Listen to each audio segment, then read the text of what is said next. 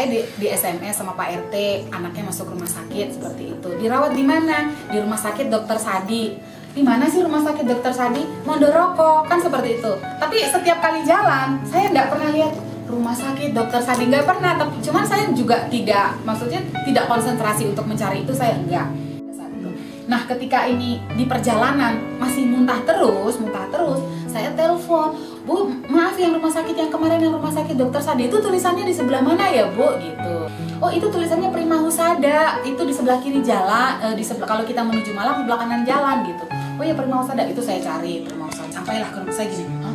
ini perumahan mana rumah sakitnya kan gitu. Makanya saya tulis kemarin don't look the book from its cover terus eh, satpamnya ya satpamnya langsung "Eh, ada apa ini kecelakaan kerja pak oh silakan silakan langsung bener-bener ya bu. Kita kadang-kadang kan ada yang dicuekin ada yang apa. Dari dari situ saya lihat securitynya tanggap banget kita di ini. Padahal kan masih bisa jalan. Mas David itu masih bisa jalan tapi mereka terus masuk. Oh, pertama kali saya ketemu dokter Dodi. Saya berkesan dokter Dodi. Asik dokter Dodi itu. Terus ap- eh, gini. Kenapa bu? Ini kenapa? "Eh, ini dokter tadi begini begini oh udah Hmm, silakan Pak, Bapak naik. Ibu, ibu di sini, ibu administrasi, ibu duduk di sini. Ibu tenang ya, ibu tenang. Itu ada suster yang saya ingat yang gemuk pakai kacamata, badannya besar, siapa namanya ya? Alia. Elia. Heeh, saya ingat Bu, dia gini. Tenang sayang, kita tangani sayang, tenang ya. Kan saya, ini gimana? Nanti matanya masih, ini gimana? Saya gitu-gitu. Tenang ya sayang, dia gitu. Terus gitu, saya saya lihat jam sostek. Oh, tapi kan jam sostek. Saya bilang, tapi kan jam sostek ya, Pi. Iya, cuman saya kan nggak pernah tahu jam sostek itu apa. Terus terang ya, Bu. Hak saya di jam sostek, hak dia apa, jam sostek itu apa. Eh, saya dapat nanti dapat apa. Yang tahu saya, saya? ikut juga pun juga nggak ngerti. Perawatnya. Eh, gini eh, ini pasien apa bu? Ini dari ini kecelakaan kerja. Oh bapak bekerja di mana? Di RWS ikut jam sostek pak. Nah itu yang mereka tanyakan. Jadi mereka tanyakan mungkin kita di instansi mana. Ikut jam sostek ikut saya langsung karena saya tahu dompet suami saya. Ikut saya tahu kart- eh, ada kartunya ada. Ini KTP KTP ada ada. Sudah tenang ya sayang dia bilang. Sudah nggak usah panik seperti itu. Kami urus semuanya. Sudah kami berhubungan langsung ke kantor. Jadi eh, ngomong-ngomong sama manajer saya ditenangkan ibu minum teh hangat ya. Nah saya belum pernah bu. Rumah sakit mana pun saya tidak pernah ditawarin minum. Wala- lagi panik itu ibu, ibu minum teh hangat ya ibu minum. Terus gitu eh, Mas David udah dikeroyok orang enam lah ini istilah saya ya bu. Sudah ditangani segini segini terus eh, dokter ini di ronsen ya bu karena kita kita nggak tahu. Karena luka luka luarnya nggak ada. Kita di ronsen saya bilang dokter apa pun yang terbaik untuk suami saya gitu. Terus langsung ibu jam sosmed jangan takut. Nanti di cover eh, segala sesuatunya serahkan sama kami. Nanti kami yang berhubungan ke kantor. Ibu nggak usah mikir apa-apa. Dana ditanggung sama jam sosmed. Saya belum tahu plafonnya berapa bu. Terus akhirnya di ronsen saya ikut ke sana ke sini prosedurnya enggak. Pokoknya tidak ada yang merumitkan. Dari awal itu dibawa ke ruang ronsen saya tunggu hasilnya. Kemudian hmm, sampai kami masuk ke ruangan. Ibu rawat inap ya kita nggak tahu. Terus ini eh, hasil ronsennya belum keluar mungkin nanti malam baru keluar. Nanti disampaikan. Orang setengah jam setengah sepuluh kalau saya nggak salah eh, Pak Dokter Sadi. Saya dengar dari perawat ini setiap hari ada ekstra visit visitnya dari Dokter Sadi kan owner kok visit gitu. Apa ini ditangani Dokter Sadi enggak itu ekstra visit. Memang memang setiap hari Dokter Sadi visit ke ekstra ke, ke pasien. Waktu itu saya minta yang nyaman yang yang kelasnya yang sendiri yang ruangan yang private ada enggak? Saya gitu. Eh, itu bisa saya terima sangat bisa saya terima. Perawatnya menyampaikan dengan dengan enak bu dia bilang. Bu begini ya plafonnya ini memang 20 juta.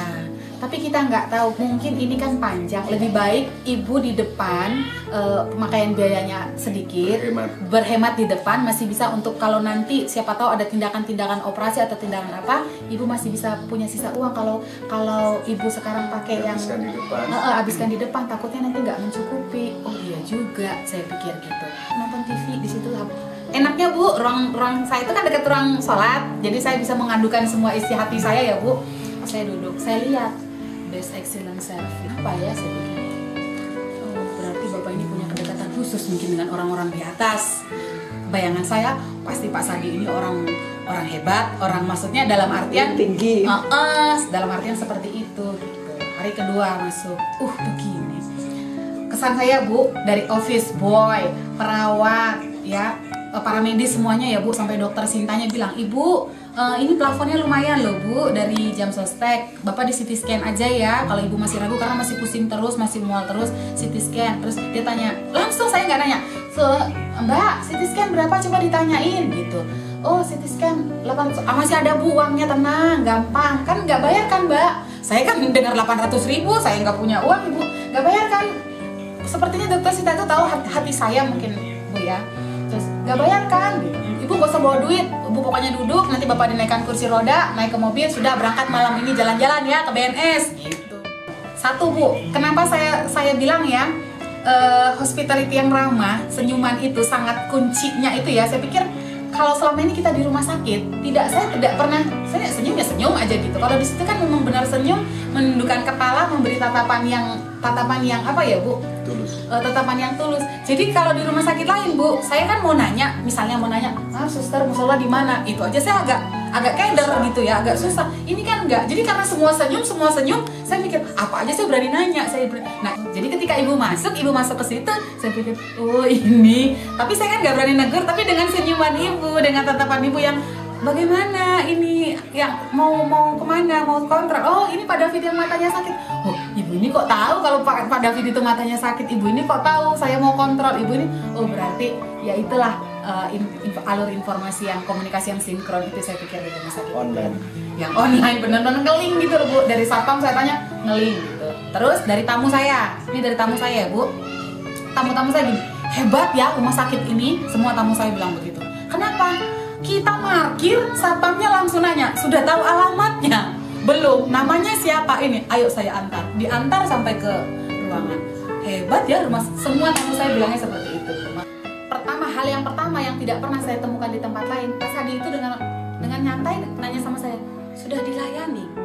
Saya tahu nama dokter Sadi itu owner gitu ya. Terus saya tahu orang oh itu loh yang namanya dokter Sadi. Terus mendekat gitu loh bu. Dengan dengan ramah gitu ya dengan senyum. "Eh, ibu sudah dilayani. Saya pikir belum pernah saya tahu ada bos big boss itu yang nanya sudah dilayani apa belum. Seperti itu ya bu ya. Jadi saya langsung bilang pak rumah sakitnya bagus. Saya terkesan. Saya sangat puas. Pak Sandi jawab pada saat itu ibu kalau pujian tolong jangan disampaikan ke saya. Jadi eh, hanya kritik saja yang saya minta. Enggak pak. Saya memang saya bukan memuji. Saya hanya menyampaikan isi hati saya rumah sakitnya bagus pak